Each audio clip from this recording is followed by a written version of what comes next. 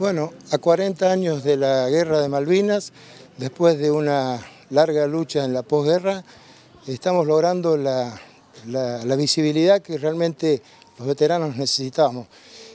Esto consistió en una invitación del vicegobernador Palmieri, donde nos invitó a pisar las banderas del Palacio Legislativo. Y el Palacio Legislativo es donde está el pueblo, eh, representado por los legisladores. Así que para los veteranos de guerra es un gran honor haber realizado este, este acto y un agradecimiento profundo a toda la Río Negra por esto.